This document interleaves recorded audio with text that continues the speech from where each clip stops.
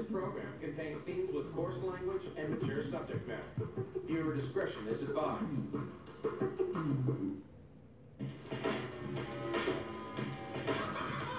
I married a woman who loves to camp, and I am what you would call indoorsy. I'm surprised we can still get people to camp. Hey, want to burn a couple of vacation days sleeping on the ground outside? Uh, no. What if I told you to get to cramp standing up in the woods? I still wouldn't want to go. You'll wake up freezing, covered in a rash. All right, I'll go. My wife always brings up camping's a tradition in my family.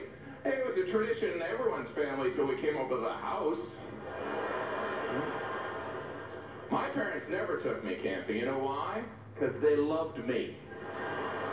If it's so great outside, why are all the bugs trying to get in my house? Some places you have to pay to camp.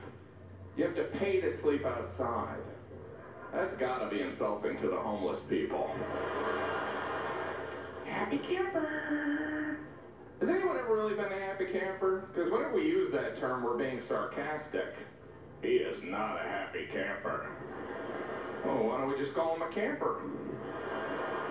He's miserable. You know who's a happy camper? The guy leaving the campsite. He's the happiest camper. He gets to take a shower. I probably wouldn't be so scared if I wasn't sleeping in a bag. Hey, let's prepackage ourselves for the serial killer, huh? I can't get away, can you? I can hop for a little, but I'm dead meat. You ever have to go to the bathroom in the middle of the night? You look at your friends, nice knowing you. And want to come and get killed with me, or you want to get killed looking for me? We're all dead. It's not just serial killers, there's bears out there. Last time I went, we got this pamphlet that said if a bear approaches, you're supposed to play dead. Really? We're gonna rely on my acting skills? Play dead? Who came up with that? Maybe the bears? Play dead, cover yourself in honey, climb a large white plate. Don't try to run away from us. I mean the bears.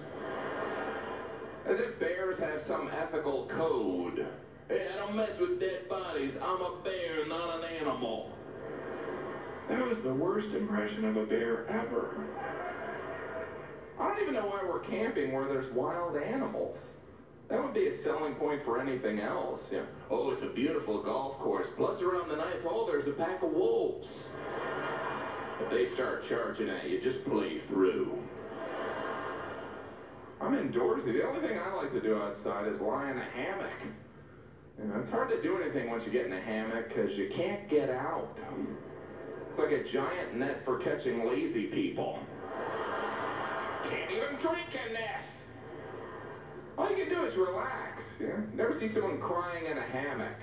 My life is. Oh, this is delightful. You ever get in a hammock with someone else? You better be dating them.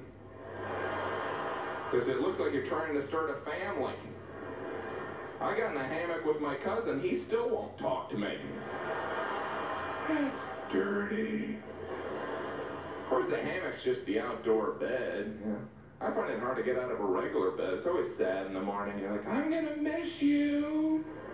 You were wonderful last night. I didn't want it to end. We never want it to end, right? That's why there's the snooze bar. As my first decision of the day, I will go back to bed.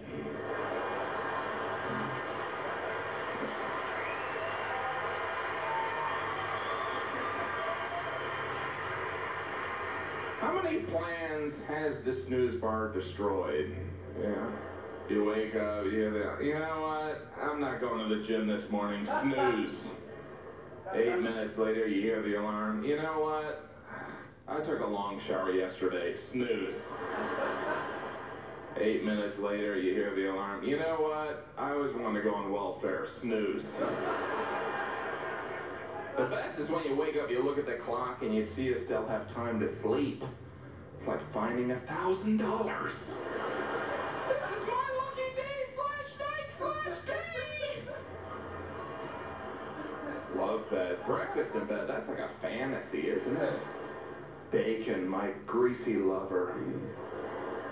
Bacon's the best. Even the frying of bacon sounds like applause. It's like, You ah.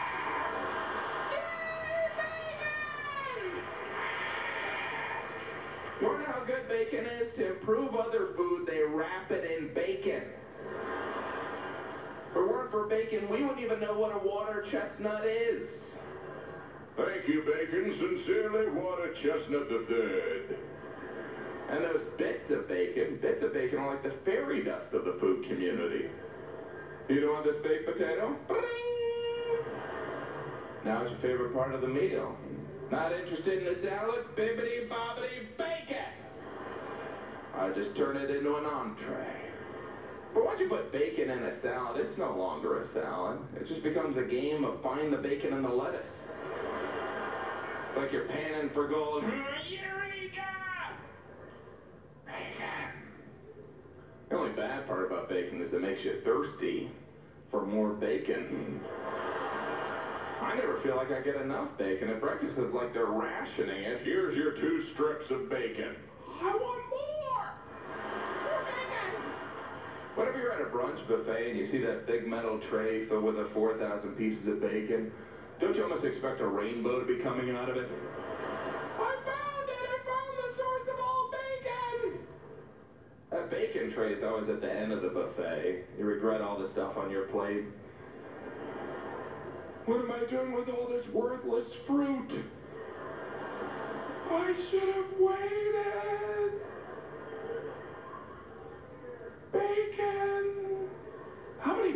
Jokes is this guy gonna do? I mean, I like bacon, but come on. I bet if you put bits of bacon on a strip of bacon, you could travel back in time. It's like a tasty vortex. It would be kind of redundant for me because I would just travel back to when I was eating bacon.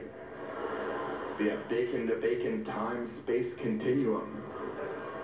Bacon. That's got to be the end of the bacon jokes. I even like the name Bacon.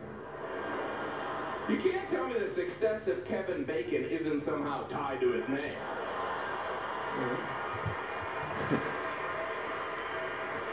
You're not going out to see a Kevin Hot Dog movie. Who's in this movie? Kevin Bacon? Oh, sounds good. If he does another bacon joke, I'm gonna kill him. That's it for now. Thanks for joining us on Just Laughs.